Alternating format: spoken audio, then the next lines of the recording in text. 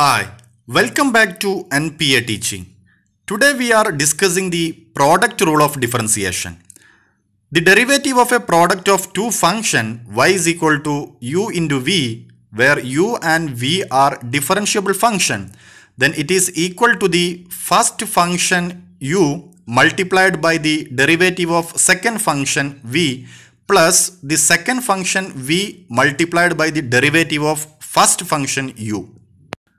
That means the product rule says that if we have a two function u and v which are differentiable function then the product of these two function u into v which is equal to the first function that is u into d by dx of v plus the second function v into d by dx of u.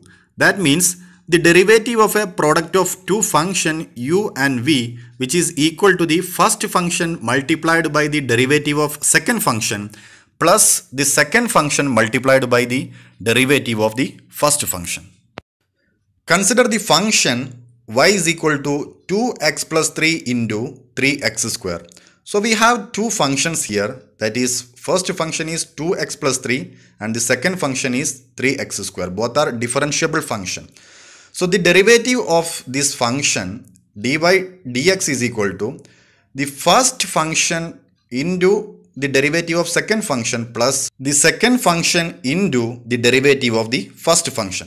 So the first function 2x plus 3 into d by dx of 3x square plus the second function 3x square into d by dx of first function that is 2x plus 3. So 2x plus 3 into the derivative of 3x square which is equal to 6x plus 3x square into the derivative of 2x plus 3 which is equal to 2. Now multiply the 6x with the first function that is 2x plus 3 so it will become 2x into 6x which is equal to 12x square plus 3 into 6x which is equal to 6 18x plus 2 into 3x square which is equal to 6x square. So 12x square plus 6, 6x square which is equal to 18x square plus 18x. So the derivative of a given function by using the product rule which is equal to 18x square plus 18x. Consider another function y is equal to 9x square minus 2 into 3x plus 1. So here we have two function that is 9x square minus 2 and the second function is 3x plus 1.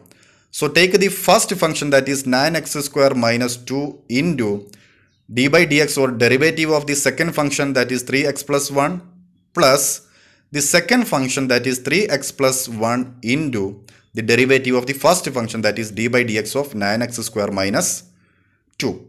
So 9x square minus 2 into the derivative of 3x plus 1 which is equal to 3 plus 3x plus 1 into the derivative of 9x square minus 2 which is equal to 18x. Now multiply the values that is 9x square minus 2 into 3 that is 3 into 9x square which is equal to 27x square minus 2 into minus 2 into 3 which is equal to minus 6 plus 3x into 18x which is equal to 54x square plus 1 into 18x which is 18x. Now 27x square plus 54x square which is equal to 81x square plus minus 6 plus 18x. By rearranging we will get 81x square plus 18x minus 6. By taking as a common factor 3 to the outside then which will become 3 into 27x square plus 6x minus 2. Thus the product rule of differentiation is very simple that is if we have two function then take the first function then multiply with the derivative of the second function plus take the second function and multiply with the derivative of the first function. In the next video we will discuss the quotient rule of differentiation. Have a nice day and see you in the next video. Thank you.